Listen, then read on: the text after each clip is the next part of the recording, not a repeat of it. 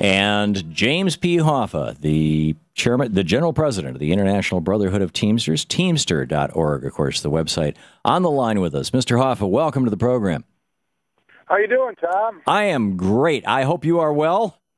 Well, I'm well because uh, I'm here in Columbus, Ohio, and we're rallying uh, against a bill that would take away the collective bargaining rights and the rights of thousands and thousands of public employees.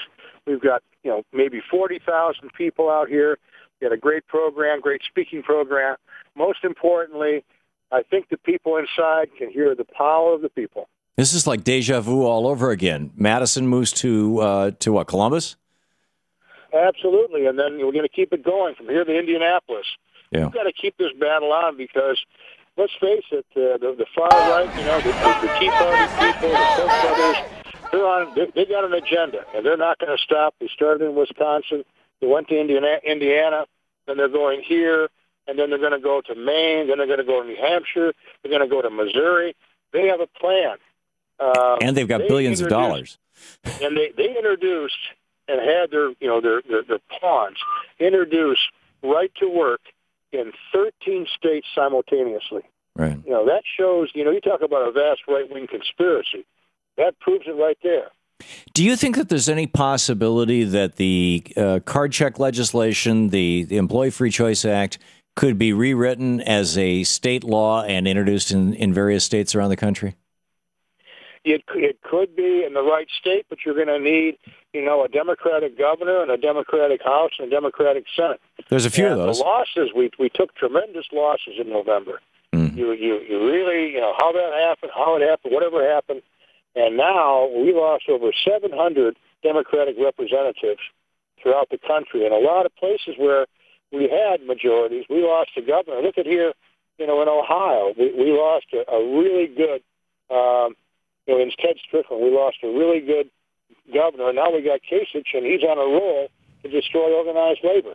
Yeah. he's got the same playbook that they have in Wisconsin, the same playbook in Indiana, and the same playbook in everywhere you go. Every time there's a Republican, he's basically bought and paid for by big business, and they start with the same agenda. Well, it seems to me, uh, we're talking with James P. Hoffa, the general president of the International Brotherhood of Teamsters, Teamster.org. It seems to me, Mr. Hoffa, that the that the average person in America, as a consequence, in particular of what's been going on in Wisconsin, is starting to realize that the Republican Party is basically the party of billionaires and transnational corporations, and the Democratic Party has been historically the party supported by labor. As, as Shepard Smith admitted on Fox News, if they could just destroy the Democrats, they could have a single party rule, basically, uh, because it represents the interests of the people. And I, I, am just uh, wondering if you think that this is, or if you're seeing a renaissance in the labor movement, in, in people waking up and showing up and participating. I think we are, and, and I think it starts with a number of things. Number one, organized labor is they, they see the attack, and organized labor has come together. But most importantly, I think we're you know we're we're invigorating the average worker out there, the teacher, the fireman, the policeman, the nurse, who never thought. I mean, they might belong to a union, but they never thought that they would be the targets. And all of a sudden, they want to take away everything they fought for, collective bargaining. They want to lower their wages, take away their pensions and health care and they basically want to roll the clock back, you know, to 1890. And you know, we know who caused you know the great crash, and the reason why all these states have deficits. It's Wall Street. You know, it was uh, you know the subprime and the derivatives. We all know that story. It wasn't a long time ago, and now because they're in trouble, now they want to get all that money back, not from Wall Street, not from the billionaires, not from the corporations. They want to get it back from some teacher, some fireman, the people that can least afford it. So you know, that's the message we're getting out, and and hopefully not only we're, we got to really realize, and the people coming out. I think there was over a hundred thousand people last Saturday in Madison. I think people are getting the message that you know this is not about you know whether I belong to a union or whether I'm a Democrat. This is about going after you and your family yeah. and your life. Yeah. And, and this is more than belong, do I belong to a union or am I a Democrat? When people start coming after your family, and they're going to say you're going to make less money. We're going to lower it by ten percent, and we're going to basically start rolling the clock back. And gonna, people start saying, "Wait a minute, this is serious." So hopefully, we're finally getting through what we've been preaching. Hopefully, we'll get through to a lot of people that are going to realize what's at stake here. What's at stake is our middle class, which is basically the public employees, the private sector, the people that work hard every day. You know, your neighbor and my neighbor that go to work every day and they and they have a life, or maybe they can send their kids to college and they have a home. You know, maybe you know, and you know what? There are people that don't want us to have that.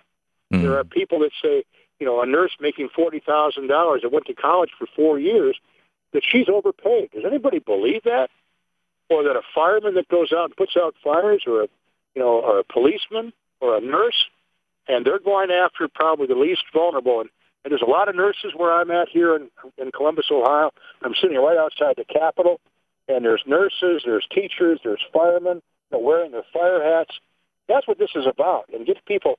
And, but I think the most important thing, we've got to have a wake-up call to the American worker. And you know what? Maybe this is it. Well, there's there's another thing at work here too, and and that is that the and this is playing out in the media from from Meet the Press to Fox News, and that is there's no discussion. There, there's a, there's a, a joke going around actually right now about you know a, there's a there's a CEO.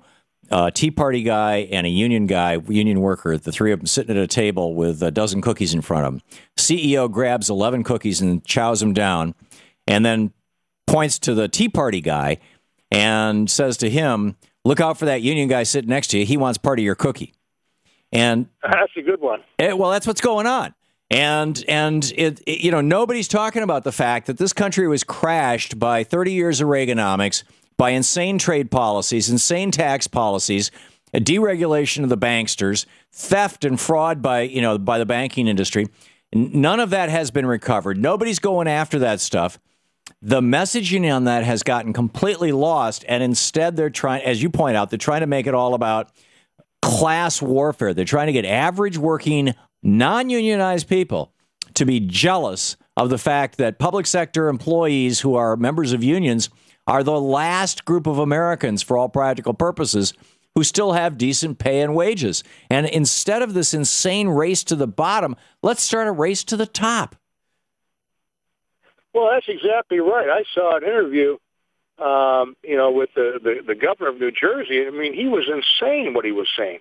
And he was saying, you know, he exactly what you said. He was said, you know, the middle class should be mad at at the teachers, right? And they should be mad at the firemen. And I'm saying, I, I can't believe what I'm hearing. Uh, because they have decent wages, because they have a pension. Shouldn't we all want that? Aren't right. we all entitled to that in America? Is this a race to the bottom that only the rich get richer? You know, uh, you know, everybody knows, and every article says that no one has wages have gone up in the past ten years. That one percent of the people control half of the wealth of the country, and you know, and that's gone up from ten years ago or five years ago. They have a statistic about twenty years ago. Uh, the average, you know, the CEO made 25 times the wage of the average worker. Now they make 225 times the wage of the average worker. Uh, you know, they're getting richer and we're going down. And the answer is they want more of that. So now that they've taken over some of these state houses, you know, here in Ohio, in Indiana, uh, in Wisconsin, watch out because they're coming for you. And you know what? Maybe this is the wake up call American workers need. Yeah. Maybe this is what we need to get people off. And when we have an election next time, they're going to go after, you know, Kasich, and they're going to go after Walker, and they're going to say, you're not taking my life away. You're not taking my home away. You're not taking my pension away. Maybe we'll get people mad because, you know, we got to get as mad as hell and fight back. Well, these guys are betting that, you know, that's a year and a half away and that's an eternity in politics and that with, uh, you know, enough millions of dollars from the Koch brothers and other big funders that they can change people's minds, that they can convince them of, of otherwise, uh, you know, that, that up is down. Do you think, uh, James Hoffa, that the that the average American is going to be able to cut through the onslaught of advertising that's on its way? Well, we're going to have to. I mean, you will watch Fox News. It's all about you know how bad the workers are. Sure. How the workers have too much. Does anybody think that workers out there that have, you know, we've lost eight million jobs since the Great Recession? Uh, we've got ten percent unemployment. We've got jobs going to Mexico, China, and India, closing down factories. Anybody think we got it good? But you watch them, that's all they talk about, how there's a war on the workers and how they, we've got to give up more. So maybe this is the wake-up call that all of us need. I, I, I think I think it is. I really do. I think this is a turning point in history. James P. Hoffa, the General President of the International Brotherhood of Teamsters, Teamster.org. Uh, Mr. Hoffa, thanks so much for joining us today. Thank you, Thom. Good talking with you.